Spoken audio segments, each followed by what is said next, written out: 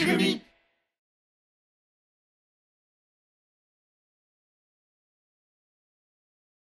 制度がすごい年度で充実してるんですよね。結構他の会社ってこう入ったら、えー、と先輩と JT で学んでもらうねっていうところがあると思うんですけど1年目2年目3年目と専門的に自分がやりたいなと思ったら自主的に研修受けさせてもらったりあと語学研修も用意してもらったりあと主任係長になったらまたその研修があってっていうところで会社の方で教育の場をすごいしっかり用意してくれているので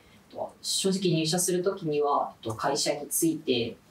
会社入ってから役に立つような知識なんて何も持ってないよという状態だったんですけどもここをきっちり教育していただけるので育てていっていただけるみたいなところも働きやすい会社ではないかなというところに非常に惹かれた覚えがあります。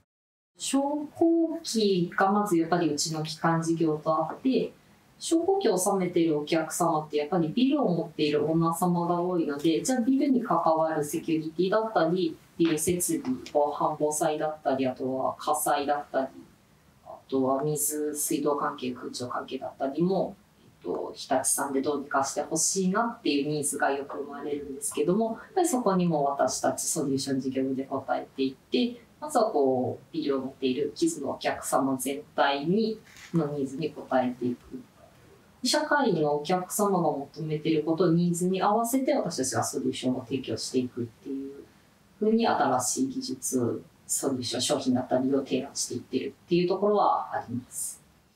入社してみると、先輩だったり上長だったりの人を育てようっていう気持ち風土もすごく強くてこれは本当にいい会社に入れたかなと思ってます。で具体的にはこうちょっと質問したことに対してすごくこっちが理解できるまで答えてくれると考えてくれる。それからちょっとこうしたいなっていう提案に対してじゃあこうしていこうよっていうのを一緒に考えてくれる。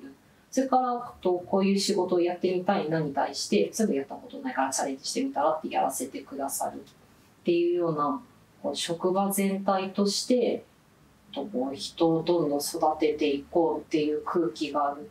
これはすごいありがたいことなのかなと入ってみて思います。ました。新しい価値でお客様に応えよう。勝ち組になろう。